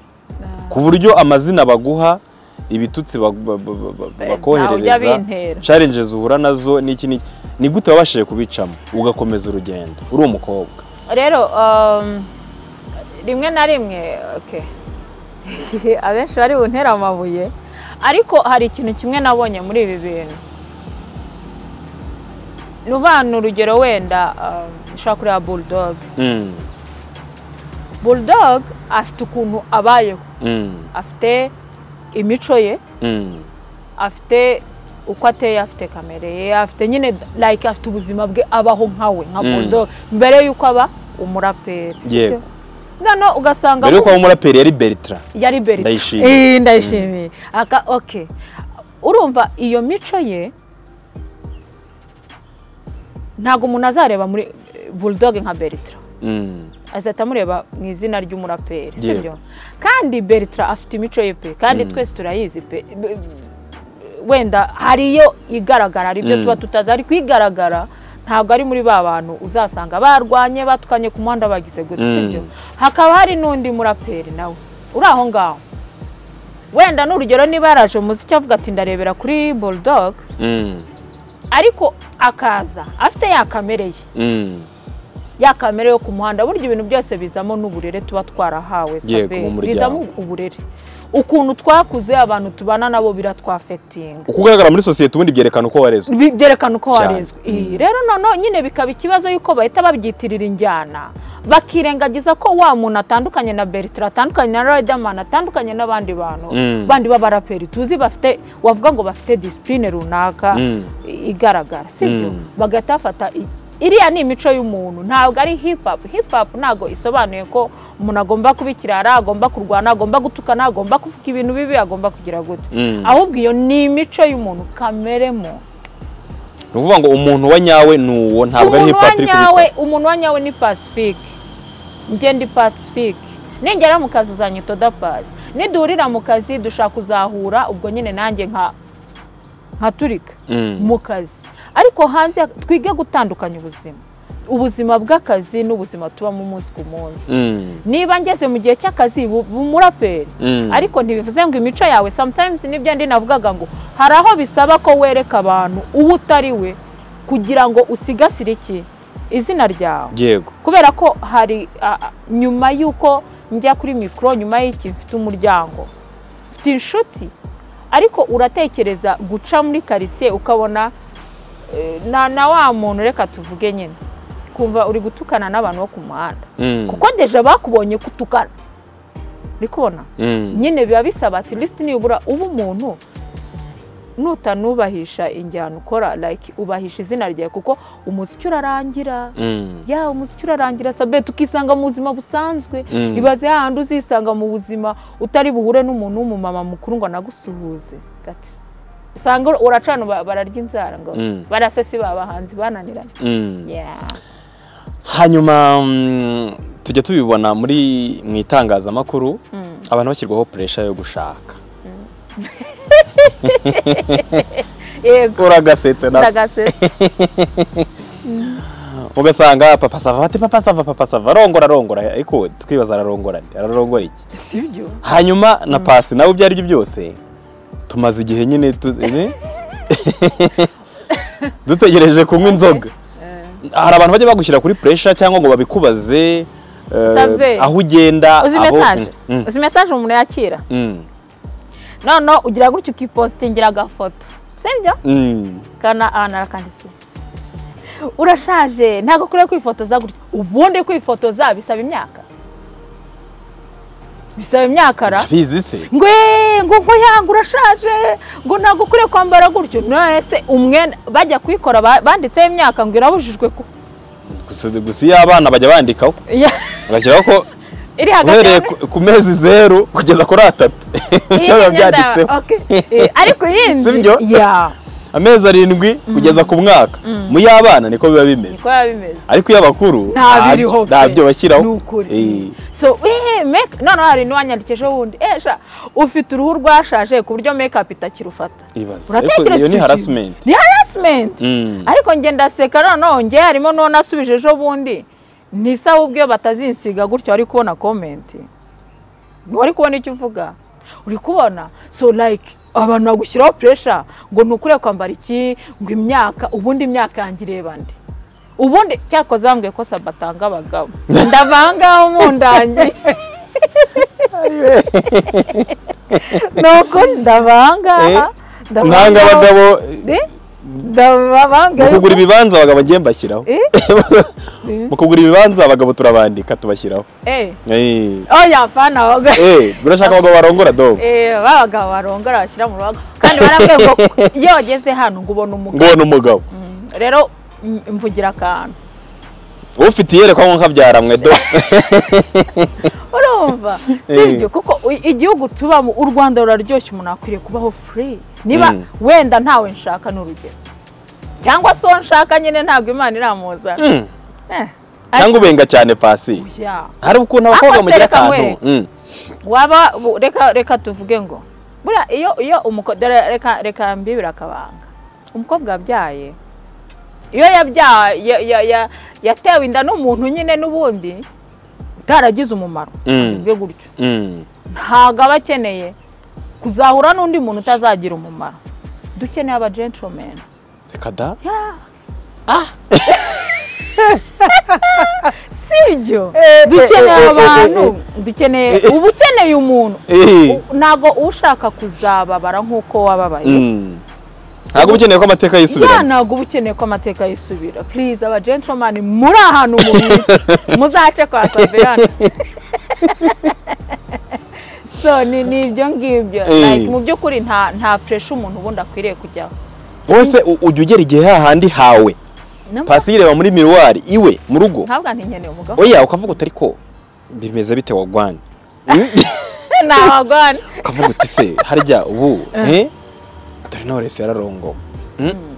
dore Miss Jojo yararongowe ako ni n'abakuru da dore se eh? Eh. Ni benshi. Ariko Eh? donc bijya bibaho hari ikintu kimwe. Mm. ntabwo twese twaremewe gushaka abagabo. Right? Nanabwira abakobwa ntihakagire umuntu ugushyiraho puresha ngo nturashaka ngo wagize imyaka mirongo ine ngo mirongo ine n'itanu. Ninde yakubwiye yuko nudashaka umugabo bazagukubita nta deadline. None si igihugu hari ubwo hari itegeko rimanitse hariya. Deadline yo kurongorwa yo kumuha kuri rwa rupapuro z'umuhondo avuga ati nta mukobwa wemerewe kuba mu gihugu utararongowe si ibyo ni ibiki. Hanyuma ukabona abantu wajya baranamuguhaye nibura. Mm. ngo nta mugabo. Oya pe ntabwo twese twaremewe gushaka abagabo. Donc ntabwo wigeze ubitekereza ni cyo kintu cya mbere ntajya ntekereza. Kuri lisite y'ibibaho ni iki? Kiri ku mwanya nk'ikintu w'inyuma cya cumi. Eh, ni ku- ni ku kintu cya cumi nk'ikintu cya cumi kubera ko nakubwiye ko tudashaka amarira. Nta yandi marira dushaka. Urashaka umunezero? Turashaka umunezero. Imyaka isigaye umuntu ayibemo yishimye. Ko bigoye kubona umunezero muri iki gihe se oda? Biragoye ariko banavuga ko abagabo babuze by the way. Ego ko ako wasanga ari na byo barabuze. Ndabizi si jye barambonye. Jye yarambonye. We yarakonye Ye se, yarambonye kabisa. yambutse rugikubita. Mm. so eh, ariko ntekereza ko wenda nuko mbizanyemo black cyane ariko ntekereza ko um, niba nyine twese tuba dufite hari ikintu twita desite Mm. ni hahandi ujya kubona ukabona umu- umugore ashatse umugabo rimwe urugo rurasenyutse urwa kabiri rurasenyutse urwa gatatu rurasenyutse asubiye no mu rwa kane rugasenyuka yakwicaye agatuza ko kubaho k'umugore atari umugabo ubwo ibyo reba tekereza wenda ashatse umugabo Mm. afite imyaka makumyabiri na n'ine n'itanu Mm. ageze uyu- uyu munsi wenda afite imyaka mirongo ine amaze gutandukana n'abagabo nka batatu uri kumva Mm. ni ibikomere by'iyo myaka bigenda byiza bikiyongera biki- kubaho nta mugabo si ubwo biraryoshye? Mbese kuba none se kuki ibyishimo bigomba guturuka ku mugabo? Sabe hari ushaka urugo yari yibereyeho neza. Yatekerezaho ko abonye ibisubizo by'ibibazo. Yumva agiye nyine ni- bya bindi. Ni urugero nkunze kubibona ku basore ntibanyumve nabi. Umukobwa iyo yashatse umugabo Mm. urugo rwa mbere rukangirika. Ahita yumva ikintu cya mbere ntatekereza ngo reka mbanze njye nkire. Mbanze ntuze. Menye ndashaka menye iki wagwane. Mm. ikintu atatekereza atavuga ok ibyo naburiye hariya ngomba gushaka undi mugabo ni we uza uza. Ese uwo mugabo ko atari uwo wiremeye? Ko ari umuntu nawe? Ko afite imico ye? Ushobora gusanga anakubabaje kurenza uwa mbere? Mm. cyangwa se nawe mugore ukanamubabaza kurenza abandi bamubabaje? Ahubwo biba bisaba ibintu byose mu buzima ni ukubanza wowe ubwawe ukirwana ni ukwirwanaho. Nta nyine nta rugo rwiza nta byishimo umuntu ashobora kubona 100% ntabwo ushobora kuburamo utuntu. Ariko as long as wowe ubwawe wiremyemo ko ugomba kwishima. Sabe niyo umuntu yagukora mu jisho wamuhereza irindi. Ibyishimo byawe wabiremye wari wowe ubiremye? Wowe ubwawe urabirema. Numara kumenya numara kumenya ko wowe ubwawe ushobora kwishima. Mm. uri wenyine. Umuntu wese muzabana Mm. ni ukuri hari nk'umukobwa wababajwe bihagije. Atari no kuvuga ngo yababajwe n'umugabo cyangwa Ya, ya, umuhungu wababajwe n'ubuzima umuryango n'ibindi werega hari n'ibintu bibabaza umuntu bitatewe n'abandi. Ahubwo byatewe na na, environnement gusa sibyo wize ku kigo kibi batanagukunda wanyuze mu buzima akaba azi neza ko cyangwa atekereza neza ko nabona umuhungu umusore cyangwa umugabo ubuzima buzagenda neza. Azaba abonye igisubizo cy'ibibazo bye. Azaryoherwa. Simbizi wenda njye Mhm. rero ko naciye mu bintu byinshi. Mm. ibyo byose uvuga by'abantu ba- ba- ba- bagutuka uri mubi ugize gute? Ibyo byose umuntu aba yaragiye abibona uri kubona. Ibikomere wakuye ku bantu urabibona. Ibikomere ukura ahandi urabibona. Ariko niyo mpamvu ngisetse. Impamvu ngisetse ni iki rero? Ni uko sabe maze kubona ko nta muntu n'umwe uzaguha ibyishimo utihaye. Uwo mugabo sibyo? Uwo muhungu wijya no kurusha umwana w'abandi umushyira amadepresiyo urateruye n'ibibazo byawe undi azi ko aje gushaka umugore. Mm. sibyo? Azi ko aje gushaka umugore bagiye kugira urugo rwiza. Uraje uteruye ya madepresiyo yawe ubirumbundumuriye ku mwana w'abandi. Mm. kandi wenda nawe urabimuhaye ngo akemure ibibazo byawe. Niba wowe utashobora kubasha guhandoringa ikibazo ufite. Wowe ubwawe. Hari ibyo tubasha gukemura hari ibyo dufashwamo n'abandi kugira ngo tubikemure. Ariko bituruka ku muntu nyir'ubwite. Niba udafitemo imbaraga zo gukemura ibibazo byawe ukumva ko nzaterura nkajya gushyira umwana w'abandi tugiye gukora ubukwe kandi wenda nawe wasanga wenda mugiye kubana nta muryango afite Mm. uri kubona ikintu gihari. Nawe wenda avuga ati at least ngiye gushaka umugore. Niwe uzambera azambera umubyeyi Mm. azambera umuryango. Uraje utereye amadepresiyo yawe. Utegereje ko ngo umugabo azabyuka mu gitondo ngo akubwire ngo uri mwiza? Kubera ko ntawe wigeze abikubwira. Yego. Kandi wenda wasanga nawe ni byiza pe si byanze ni sawa. Mm. wenda nawe wasanga atarakuriye muri iyo monde sibyo erega uko tubaho nuko twakuze. Mm. wenda nawe monde yakuriyemo ntiyakuze abona papa wabwira mama we ngo uri mwiza. Abantu bafite ba papa babo na ba mama babo bababwiye ngo ni beza mumanike agatoki. Uri kubona? Ukabona so abibwira nyoko? Uko babyutse. uri Mm. kumva ntibi- ntibihari. Mm. ntabyo pe. Kandi atari uko umugore atari mwiza. Mm. ahubwo nyine twese niwo muco nyine bakuriyemo niwo ntabyo babwirana ni uwo muco ntawo babwirana sibyo rero uraho u- uje gutura umutwaro kwikorera wikorera umutwaro oya. Please ni- umukobwa ndabyumva pe dufite ibibazo bitandukanye. Ariko niba utaragera kuri revo yo kwicara ngo witekerezeho uvuga ute ese ngewe unisobanukirwe mbese. Mm. hari umwe twize kuganira gato arambwira ngo nkubwire ikintu cyagufasha. Wowe ubwawe uzivura. Fata ikaye. Simpa agakayi gasanzwe agakara Mm. ujye wandika mu gitondo ubyutse. Nabyutse gutya? Niriwe gutya naraye gutya narose ibi nimbabara wandike nababaye nahuye na kana kambabaje. Ukwezi kose. Nyuma y'ukwezi kose uzampamagara umbwire ntibazagize umuntu ukagwaho ako gakayi karimo amabara. Haba hahiye hasha uri kumva? Eh. ariko kiri mu kintu cyamfashije biri mu bintu anyway byatumye niga kwisobanukirwa. Mm. niga kumenya ibimbabaza ndavuga reke ah, ibi bincira ishati birankomeretsa wayi kandi nkasanga koko cya kintu cyanambaje sina ngombwa. Mm. ko kimbabaza. Tubanze twiyigeho twebwe ubwacu twige guhandoringa ibibazo byacu. Mm. ureke kujya kugora umwana w'abandi. Ni nk'iki gishobora ku ni iki- kijya ki- mu buzima ubamo kijya kikuzamurira tempa cyangwa se uburakari cyangwa kamere? Mu buzima bwawe cya kintu iyo kibaye ki- kita ntabwo kikuzamurira umuntu kamere? umbwira nabi. Icyo ni cyo kintu cyonyine muri kamere yanjye. Ndiheba ndadepirime kukubwira nabi gusa. Ii. so ntago ntago uwo mutima ukomeye wo mufite. Ii. ikindi wenda nkandi umuntu udakunda ntago nkunda urusaku. Tusembure ibyo ni bibiri. Reka. Kandi uri umuraperi. Ndi umu- ni cyo kintu gisa? Wakaba ujya muri buwate ujya Ya, ahantu ya, biri no mu byabereye bintu umuntu tuzahurira mu ijoro kabisa ngenda azambwira ati pasi waratubeye. Biri mu bintu bidashobora gutuma ngenda ijoro. Mm. kubera urusaku sishaka kujya muri buwate kubera icyo kintu. Haba urusaku rukabije ngenda nabasha guhandorenga Mm. shaka environoma iri calm eh? Witekerezaho neza harimo Mm. akayaga harimo n'umwuka wera yego. Bajya bavanga izina ry'umuntu kandi mu mazina yawe harimo pacifique umunyamahoro cyangwa se umuntu utanga amahoro. Koko uri pacifique ndatanga sabe.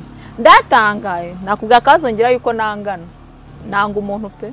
Ntamwangana wowe urangana kandi ukananga n'inshuti ze n'inshuti ze kandi abandi bajya bavanga urumva ngo erega ngo nta ribi ngo wowe nta kintu cyo ku- cyo- ni wowe ntujya uhereza umuntu. Niba tutari Eh, inshuti. eh. nta kuntu wambwira ukuntu inshuti yawe ije kuba inshuti yanjye. Ariko dushyire no mu gaciro. Mm. ni ukuri wowe tujye dushyira mu gaciro. Nta muntu ariko icyaha cyanjye ni ni gatozi. Kubera iki cyanjye ugiye kugishyira ku ariko sabe mbabarira. Ahubwo se gute inshuti yawe iza kuba inshuti yanjye? Niziba inshuti zawe niba utari umwe oke niba turi inshuti tuzihuriyeho itsoke ntabwo bishoboka se ko njye nawe twahuza ko njye nawe twahuza inshuti tutari inshuti njye nawe? Sabe uzi ikibazo kibaho? Abantu turi babi cyane. Inshuti zo ni ikibazo gikomeye. Umuntu umuntu ushaka kuba inshuti n'umwanzi wawe. Niho handi usanga ngo umuntu yavanye ibi yajyanye ahari ugasanga usigaye ukora ikintu niba ni urugero nkanjye. Muri kamere yanjye ntabwo ndi umuntu uvuga ikintu kitaraba Mm. pe niko nitereye nikorera ikintu bafu bashyiraho byarangira ugakabwira abantu. warangiza warangiza ugasanga kuko inshuti inshuti mufite uyihuriyeho n'umwanzi ukuntu ndani ugasanga ba bantu bose bazi gahunda zawe do ah oya. Mm. ndabyirinda. Pasi nk'umuntu nawe ujya ugera igihe ujya down. Amarangamutima yawe aba aba atameze neza. Ariko akenshi umuntu agira ibintu bimu- bimumotivatinga cyangwa bimutera imbaraga akongera agahaguruka ni iki kikumotiva wowe igihe wa- wagiye hasi? Mu marangamutima. Uzi ikintu kim- kimumotiva iyo mbaba yari indirimbo nkunda kumva. Noneho ikintu gitangaje ni uko itajyanye n'ibihe bya depresi. Mm. ariko biramfasha cyane. Niyeza numubwira hari indirimbo roke ngo yakozeho ikiganiro. Eh, ngo umuntu iyo yumvise ahita yiyahura. oya. Yatinye gukandaho naravuze dore kare eh oya namenye ntuzayumva nanjye yanze gukandaho oya ni indirimbo y'umutipe hanze yitwa pasenje Mm. yitwa when we were young. Ni indirimbo mu by'ukuri pe nta hantu ihuriye na depresiyo ariko iri mu ndirimbo zinturisha iyo ndi down. Ishobora gu- umva ndagenda nkambara ekuteri nkashyira mu matwi nkaryama. Ngira ibitotsi cyane. Iyo ntameze neza ndasinzira. Wumvise iyo ndirimbo cyane. Ubwo sivuga iki?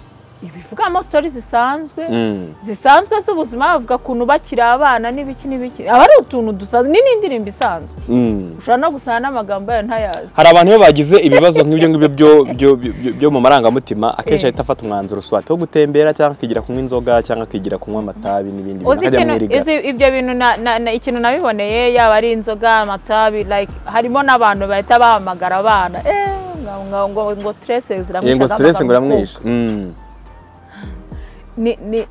si ureba ibintu byose dukora mu gihe turi down. Ni ibintu byo kugira ngo tumere neza muri uwo mwanya. Muri uwo mwanya. Muri uwo aho mwanya. ngaho. Mm. noneho iyo ibyo bintu birangiye n'ubundi still cya kibazo kiba kigihari. Ntaho kiba cyavuye. Kijya hese ndetse None- nanifite ibibazo by'amafaranga n'urugero sabe Mm, ngahamagara umwana n'andi umutipe. Wenda mu- kazi kanjye nahombye. Mm. bari wenda kampani nayiteje abagu- ibibazo abagukijije agahinda. Agahinda ko neza agahinda gakira gatereka kagira ahantu bitangirira Mm, ngira ngo umuntu afiringa ikintu cyakabaye kimukiza. Hanyuma niba umuhungu avuze ati jyewe kugira ngo ibi ngibi byose bishire. Ajye kwirebera umukobwa. Cyakoze reka mvuge ubwo se ntibishize? Bi- bi- Eh. biramara stress z'uwo mwanya. Ariko ntibiri bukemure cya kibazo. None se addiction ituruka ku ki? Addiction ni ikintu runaka. Mm. swati y'abakobwa swati n'abakobwa ba- bagira ba- bari addicted cyane ku bahungu bya dari Mm, kuri sex. Uri kumva? Mm. ibyo bintu byose by'amatabi ni ibiki? Ni addiction. Utangira uvuga ngo reka nimare stress. Kandi stress mu buzima tugendana na zo turazihorana. Ugahora rero ujya kwimara stress. Niho addiction ituruka. Kandi mu by'ukuri ni ukuri kw'imana iyo birangiye byose ibintu byose cya kibazo usanga kikicaye. Uhura na cyo Mm. ahubwo ikintu gihari kigoye nyine kigoye kugera kuri refu ufatisha ikintu kwiga wihandoringa ute wowe ubwawe wifata ute mu kibazo uburyo wifata ni cyo cyonyine kintu gishobora ku- ku- kugufasha kuba muri ubu buzima sabe Mm. ubu ubu ngaho tekereza stress duhura na zo Mm. uko ije mpamagaye umu- umu- umuhungu ntise ngusure Mm. ejo ubundi stress yagaruka ngo usure kandi iyo dutandukanye deja urongera ikibazo ugahura na cyo ikibazo kiba gihari. Ahubwo njye nkibamo gute?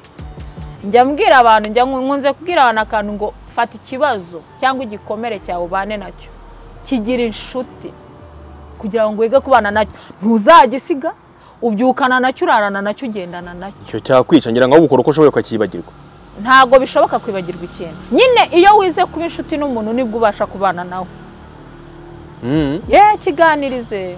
Baza atari ku bundi bite? Bite Wagikomere ubundi kubera iki? Mm. kubera icyo uri kunsubiza hasi? Bizajya bituma uniha umwanya wo kwitekereza Uh, hari umuntu nigeze kumva yigisha avuga ko ibikomere bitagaragara bidakira. Koko ntabwo bikira? Nk'icyagukomerekeje ufite imyaka itanu ni urugero ukaba ukikibuka kuko ku myaka itanu akenshi umuntu aba memory ye itangira kubika ibintu. Eh, Ntibi- ntibisibangane. Munsi y'imyaka itanu akenshi ibyo ubitse urabyibagirwa ariko hejuru y'imyaka itanu ibyo ubitse ntaho bijya. No munsi y'imyaka mirongo cyenda ibyo wabitse ntabwo bisibangana ahubwo hejuru y'imyaka mirongo cyenda y'amavuko. Ni ukuba ntabwo ujya ukibasha Yeah, kubika. No kuba waribagiwe ako shasa be Eh? iyaba twageraga muri iyo myaka twese kugira ngo nibura umuntu nagera igihe cyo kuva mu mubiri azave mu mubiri umubiri we n'umutima we n'iki byose biri clear bi- Mm. ariko ndemeranya na uwo muntu. Pe igikomere hari ibikomere bidakira. Ariko kudakira kwabyo ni iki ngiki? Ni urugero niba uri umwana wenda ukuriye mu muryango ukutotira n'ibiki n'ibiki sibyo? Abana benshi baba ba- bafite ibikomere ba- bagiye bavana mu miryango. Mm. Ya, urumva uwo mwana mu gihe akiri muri wa muryango ntabwo ibyo bikomere biteze gushira sibyo? Sometimes wenda nuko ubushobozi bwacu buba bugize ariko hari ubwo bidusaba guhindura guhindura environment kugira ngo ube ahandi hantu. Hari butume twa tuntu du- du- du- du- duciga tuzamura cya gikomere cyongera gutoha. Biveho. Mm. ibikomere harimo ibikomere bidakira. Ariko ntibivuze ko bidashira. Birashira urabyibagirwa bikongera gukomereka ari uko wongeye kuviva cya kintu. Ni ukuvuga ngo kuba igikomere cyakira burundu muri wowe ntibishoboka. Sha ariko ngewe harimo ibikomere bigoye gukira. Ariko icyo nzi cyo ni uko wiga kubana na cyo. Bivuze ngo ubana na cyo ntabwo gikira. Ubana na cyo pe harimo ibikomere bidakira. Hari hari hari umwana baviyoye uri kumva? Yego. Dufate nk'ako kantu. Nk'umwana baviyoye afite ubwenge afite nk'imyaka wenda nk'umunani cyangwa icyenda cyangwa uwo mwana niyo ya niyo yakura. Ntaho kijya. Ntaho kijya kubera ko nanashaka um- umugabo. Ashobora bishobora no kurangira azinutswe. Abagabo. Atashaka mukajya mumubaza ngo bimeze bite? Kudashaka. Kudashaka? Igikomere mukaba murakibyukije Eh, igikomere mukaba murakibyukije uri Eh, kubona? Eh, mm. igikomere ukaba urakibyukije Eta, eh, ububabare numvishe cya gihe. Barashaka ko nsubirayo barashaka ko nsubirayo uri kubona? Hari Mm. ibikomere bigoye gukira. Mm, nyine biba bisaba kuba muri environment idatiriginga bya bikomere. Ya. ibanga ryo kubaho neza pasi umuntu ya- yakiriye ubuzima bwe cyangwa yakiriye amateka ye ni irihe ibanga ryo kubaho neza se ni ukwiyakira. Sabe akira ubuzima urimo iga kubwakira iga kubwakira nta kindi kintu. Kwakira na byo rega n'iyindi process. Nyine n'indi process. Umuntu yakira ate? Kuko hari igihe ubwo uti ngakira ubuzima urimo. Ati yego agataha ariko ntabwo aba abyakiriye. Ntabwo aba byakiriye Eh. ni- ni byo nguvuga ngo ni- urugendo. Ni urugendo rusaba ngo nawe arugiremo uruhare. Nta muntu uzagufasha kuza gukira agahinda kawe. N'umuganga azagufasha pe. N'inshuti zigufasha. Ariko we nutabigiramo uruhare. Muzajya mutandukana sitira ugaruke hahandi. Mm, muzajya uba uri kumwe n'abantu bimeze neza nimutandukana ibintu byongere bibe bibi. Mm. beta ko wowe ubwa ihereho. Kwakira ubuzima bwawe banza wowe uhereho. Ntabwo saba azaza ngo akubwire ngo akira ubuzima.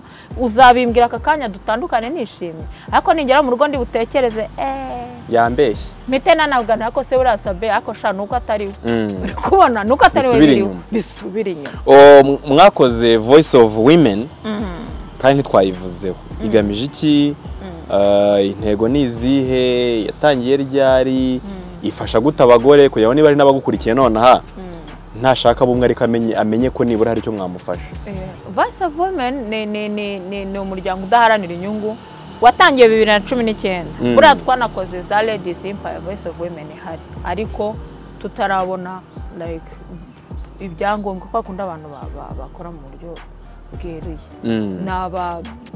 ni abakobwa n'ubundi bishyize hamwe gukora umuryango kugira ngo usapotinge abandi babamo. Buriya abakobwa dufite ibibazo byinshi cyane bitandukanye. Mm. yaba ari ababyariye iwabo hari hari nk'igikorwa twakoze du- du- duha abana ibikoresho. Ariko wasangaga bamwe wenda muri abo bana ni ab'ababyeyi Mm. bajugunye iwabo. Hari no kuba ufite umubyeyi ugasanga ntunamenya ko umwana atari mu rugo. Sabe hanze hari ibibazo. Umwana arirera. Umwana akirera kandi afite nyina na se. Afite nyina na se. Ntuzi ko yariye. Aragenda ajya gutoragura ibiryo hariya. Ku mamodoka agire gute? Ataha. Ari aho arirera. Kandi Mm. afite nyina. Mm. nawe nyina ubwo ameze gutyo ko afite amadepresiyo ye. So rero dusapotinga abamama tububakira ubushobozi tuba dufasha abana babo ibikoresho minerivare Mm. imyambaro so twishyurira abantu mituweli ndumva umwaka ushize twarishyura abantu barenga ijana. Mm. Uh, ubu bwo turateganya dufite igikorwa duteganya cyo gutanga amamashini yo kudoda. Mm. so ni ibintu turacyari batoya ariko turifuza gufasha. Yego. Yego. Sawa cyane. Uh, umuntu se ubagiriyeho umugisha akaba yafashwa namwe mugendera ku ki? Umuntu yamenya gute ko ari uwo gufashwa nawe akenshi du- du- du- du- dukwiriye- du- duhera hasi kuko ibi bintu by'imiryango idaharanira inyungu ihera hasi. Ni urugero wenda birashoboka ko umuntu ashaka ku- kutubwira ati akatwandikira ati wenda ni urugero uyu muntu akwiriye ubufasha. Mm. ese wenda uwo muntu first of all ari muri miriye mu yihe miriye dusanzwe dukoreramo? Umuntu akegera ubuyobozi akababaza buriya abayobozi gukorana n'ubuyobozi ni byiza. Mm. and then bakaduha amakuru twabona ari mu murongo w'abo tugomba gufasha turagira. Ariko niyo yaba atari mu murongo uko byagenda kose nta muntu watugana hari icyo turi bukore ngo tunanirwe kugikora. Yego. Uyu munsi turi kuganira na oda pasi uh, umuraperi kazi umaze igihe kinini cyane. Ni umwe mu bakuru muri iyi njyana. Yego. Ni umwe mu bamaze igihe kinini buryo umuntu amaze hejuru y'imyaka icumi muri kariya mu rwanda atarayivamo. Mu rwanda utarayivamo. Uwo muntu aba ari indwanyi kabisa. Imyaka icumi mu ntambara mu byiza mu bibi uh, biherekezanya ni, ibintu ngiye rwose mpita ngufata nk'umuntu udacika intege. Kuko tugira ibintu byinshi biduca intege uh, nihereyeho nanjye nzi neza ko biba bitoroshye. Iyo ubona umuntu amaze hejuru y'imyaka icumi akora ikintu kimwe atakivamo. Uwo muntu ngiye muha amanota. Hanyuma hari icyo ufite ku mutima. Wabwira abantu. Wabwira abantu bo ku isimbi. Wabwira abantu bawe. Ubundi nkubaze ikibazo cya nyuma. Icyo kibazo cyane uburyo ukivuzamo kimeze nk'igiteye ubwoba. Kiba ari- kiba kiba ari ikibazo uzi ko kiba ari first of all Mm. muri ibi bintu reka nshimire umuntu witwa cita cita cita yambonye nandika biriya bintu by'amadepresiyo n'ibiki. Cita ni mu bantu tutajya tuvugana cyane. Mm. pe ntabwo tujya tuvugana actually cyane cyane. Mm. ariko natunguwe nuko yanyandikiye. Ati pa uri amahoro reka. Ni ukuri kw'imana Mm. ako kantu konyine. Shita ko ashobora kuba ari seriyera. Ari seriye Mm. ati uri amahoro Ese, ubu yabaye iki kandi Mm. ntangane ni amahoro ati umeze neza? Ko nawe nyandika ibyo? Ndabwa ntimeze neza. Mm. nyine like naragakunze karanshimishije Mm. ya navuze na action hari abantu. Batekereza ku bandi. Nibura Mm. atekereza ku bandi. Aho kugira ngo wenda ahite akujajinga ore yo kukujajinga akubaza Mm. what's going on meze neza. Wasanga iyo mubwira nti ndi gupfa wenda si yari guhita avuga ati "Re, uri he uri hehe. Mm. ariko ya naragakunze ntabwo nari gusoza ikiganiro. Ntamushimiye famo komeza uwo mutima. Magic rwose. Ya magic eh. So ikintu navuga um, oda pasi ni umuraperi murabizi bisanzwe ndaririmba nkora ibiki ibintu byose ndabikora. So um, n'ubundi mbafite ibintu bishyashya muri uyu mwaka. Mm. bigiye kuza. Ikindi cya kabiri ngira ikiganiro cyitwa imbere muri njye. Mm. sabe hari ukuntu ugira agahinda ukumva ese ko nabivuyemo ni iki nakora ngo mfashe abandi? Njya ngira utwo tuntu ujya ubona Mm. njya nshyiraho ku ma Mm. instagram yanjye hari mesaje no kuri twitter zanjye ziba ziriho sometimes wenda mbishyiramo imbaraga nkeya ntabwo mbikora umunsi ku munsi Mm. so ariko tugira n'ikiganiro cyitwa imbere muri nge dukora tuganira ibintu bitandukanye n'ubundi umuntu azajya agerageza ni ugutanga inama zimwe mu byo afite uri kumva Um, and then bajya baza bakanakireba da bica kuri youtube bica kuri um, youtube ya imn tv yego. Mm, bica kuri youtube ku bantu bakeneye kujya babana na pasi na bagenzi be bakorana. Abakobwa beza mukorana. Ndaza kubaha link mujye mureba amasesiyo bakora. Uh, bagaruka cyane ku buzima. Ku buzima kandi burya ubuzima ubuzima ni bugari. Muri buri segiteri buriya nushaka uba umupolisi nushaka uba umu- umuntu uri ku muhanda cyangwa se umuntu wibereye mu rugo udafite akazi uba umudamu uba umugabo ube uwo uri we wese. Mu cyiciro cy'ubuzima urimo ubwo ni ubuzima dukwiye kuganira.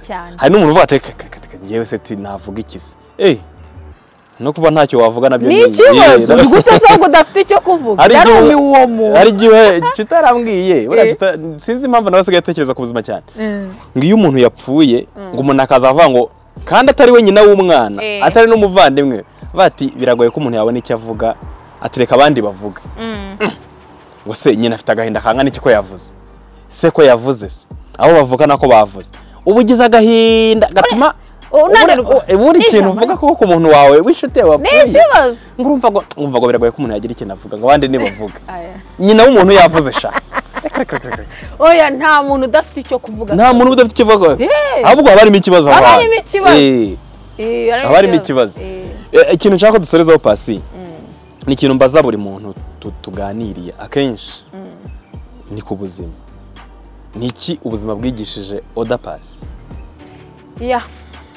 Ubuzima bwanyigishije ko ngomba kuba njye first of all ubuzima bwanyigishije ko ngomba kwikunda. Icyo ni icya kabiri ubuzima bwanyigishijemo ko ngomba kugira amahitamo yanjye. Kugira amahitamo yanjye like uri kumva niba hari icyo hari icyo ngomba gukora ngifatire umwanzuro. Ngewe mbere y'uko abandi ubuzima bwanyigishije kudatinya abantu. Ntabwo nzakorera ku jisho rya kanaka kubera ko ari icyo adashaka as long as kimfitiye akamaro. Kuko namenye ko mbabara nkababara njyenyine. Iyo pasi ababaye nta wundi muntu ubabara. Kandi hano hanze iyo dufashe iyo dufashe imyanzuro- iyo dufashe abo imyanzuro iyo Eh, iyo umuntu afashe imyanzuro Ah. ikiremwa muntu iyo gifashe imyanzuro abantu bahita baza ba- ba- bivanga mu myanzuro yawe. Biragoye ko nta muntu ndabona wafashe umwanzuro ngo abantu bavuga bati umwanzuro wafashe rwose dukwiye kuwubaha. Ni- ntitubwire ko ari wo dukwiye kuwubaha. wakagombye kuba Eh, kandi Mm? Ni wowe washakaga ikintu. Mm. ni wowe uzi icyo ushaka. Mm. ni wowe ufite ahantu ushaka kugera. Ni wowe uzi inzozi zawe. Mm. uri kumva? Ariko iyo nyine jisite du- dufata imya ujya gukora iki? Aha noneho hari n'uza wamaze kugikora. Akaza asanze ikintu waragikoze kigeze hariya agahita avuga ati ariko ubundi ndabona ntabwo ari uku nguku ibintu wagakwiriye kuba warabikoze wagakwiriye kuba warabikoze. Wari uri. Ese njya kubitangira nabitangiye wapfuye. Ntiwari uhari wari uri Mm. kugira ngo njye kugera ahubwo n'ibyo ukora nyine n'ibyo ukora wowe byawe. Mm. ntabwo ari ibyo ukora bye. Yego cyane rwose. Ikindi gusa ntagenda ntabuze sabereka ngo ushimire wararwanye pe. Ndacyarwanya ah, ah, naho ugeze uyu munsi. Wararwanye aho Mm. wavuye Mm. naho ugeze uyu munsi turetse amashyari y'abantu. N'iki ni ukuri ko imana imana ijya iguha umugisha. Nsabiye umugisha isimbi tivi pe. Turawakiriye mu izina ibyo, Yesu. yego Mm. rwose sha wanafashije benshi nanjye ubwanjye waramfashije. Imana ishimwe reka nshimire oda pasi. Reka nshimire pasi kuba wafashe uyu mwanya. Pasi ntabwo ari umuntu wabona kenshi mu biganiro. Usibye wenda izo sesiyo akorana na bagenzi be ariko ubundi ntabwo ari umuntu wo mu biganiro. Rero kuba wafashe uyu mwanya ukaza tukaganira ngenda byubaha uretse n'ibyo inshuti yanjye sibyo gusa hari ikintu wavuze nsanga ari icyo pasi iyo mufitanye ikibazo araguhamagara. None se kuki ibi bintu wabikoze gutya? Ntabwo ari wa muntu uguhereza. None se koko ibi bintu wavuze mu kiganiro yari ngewe cyangwa se ngewe apana wa muntu wumva wavuze ikintu mu kiganiro akavuga ati eh ubwo se nge yavuze? Mm. akagenda akarakara agera ku ruhande uri Sha kabisa. ndaguhamagara niba uri inshuti yanjye. Ndaguhamagara Mm. twurirane. Mm. birangire dukomeze ubuzima kuko nyine biba bigomba kubaho Mm. Yeah. pasi wakoze cyane nyagasana kugirire neza kandi ibyiza biri imbere mwakoze cyane namwe amen.